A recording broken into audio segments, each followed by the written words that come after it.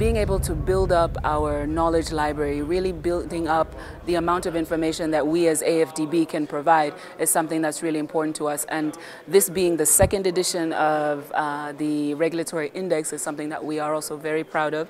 Uh, it's a significant achievement because we've actually um, increased the number of countries and we've slightly, we've added uh, an additional survey participant. So we're very excited about this report. I have to say, some of the same issues were uh, prevalent. There's still some challenges um, in certain governance systems that we have, uh, but by and large, I think countries are really trying to do what needs to be done.